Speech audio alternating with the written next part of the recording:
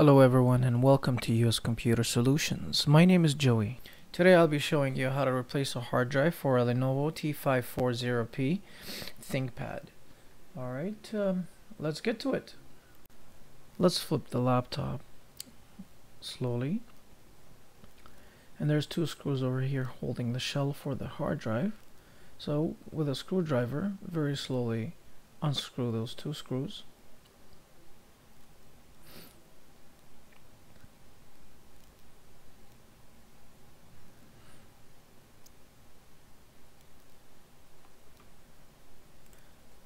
Alright, let's remove the shell. Nice and easy with a little force, not too much. You don't want to break any plastic parts. And let's set the shell aside. Alright, as you see now we have it uncovered. Here are your RAMs. You have a second slot of RAM over there. Here's your hard drive. This is what we'll be removing today, the old hard drive. There's a little screw all the way on top over there. Let's unscrew that screw very slowly, nice and easy. Now the reason why I say slow and easy is because we don't want the head of those screws to be spoiled.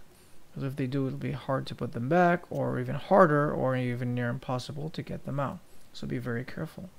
Alright, now as the hard drive is free from that screw, we're going to pull it away from the bay area, or the way where it harnesses, very slowly. I'm going to pull it out from the edge that side and pull it towards the left away make sure you don't pull very hard. You will chip the hard drive. And now as you see it is free.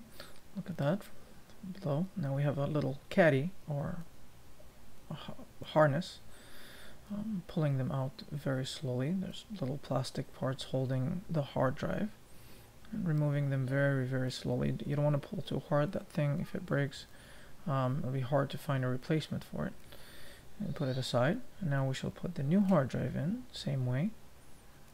As you see, here are the little plastic parts that are going to go in the holes, the side of the holes of the hard drive. They're actually screw holes.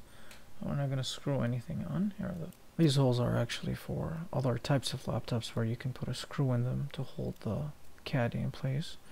And of course this one comes with a little plastic part that holds the uh, hard drive in place. Um, just be very careful while putting it. And um, let me show you up close how it looks like. All you have to do is just lock it in place in those holes and that's uh, that's it. That's how the harness or the caddy will hold the hard drive. And of course, um, that's what keep in place while you're moving stuff like that. Alright, now let's uh, put back the hard drive in place.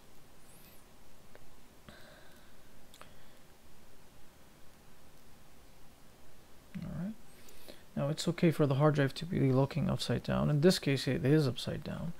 It's going to be straight up because when you have the laptop in a normal upward position, the hard drive will be this position. Now be careful from mixing up. You will know that if you put the caddy wrong in place, uh, the hard drive caddy won't go inside. So you'll have to flip flip it over. And this hard drive, it, the hard drive comes upside down from that angle. Now let's put back the shell in place. Let's lock it in place by clicking it from the left and from the right side for the plastic hinges to hold it in place. And let's screw back those screws uh, nice and easy. Do not press too hard. You don't want to uh, spoil the heads of those screws because you won't be able to enter inside of it and or it'll be hard to get those out. Make sure it's flushed in and uh, there you go. Freshly installed hard drive in and I hope you enjoyed watching this video. And if it helped you please give us a thumbs up subscribe and comment below. Thank you for watching and have a wonderful day